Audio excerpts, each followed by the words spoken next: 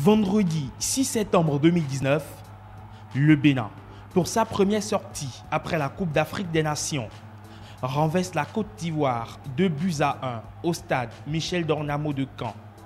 Trois jours plus tard, les écureuils étaient au stade du 5 juillet pour défier l'Algérie championne d'Afrique en titre, qui avait à cœur de communier avec son public. Difficilement, les FedEx sont venus à bout des écureuils 1-0 la conséquence est immédiate sur le classement FIFA du mois de septembre. Le Bénin chute d'une place au classement mondial et se loge à la 83e place mais conserve son 18e fauteuil en Afrique.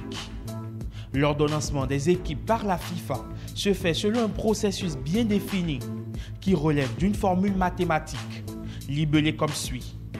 P, nombre de points, est égal à M, valorisation du résultat, multiplié par I, importance du match, fois T, valeur de l'adversaire, multiplié enfin par C, coefficient de la confédération.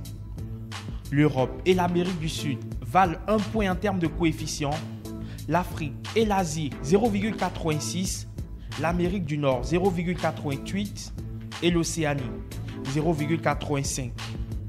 Le classement FIFA Coca-Cola se base sur un système qui procède par addition ou soustraction sur un total de points en fonction des matchs gagnés ou perdus.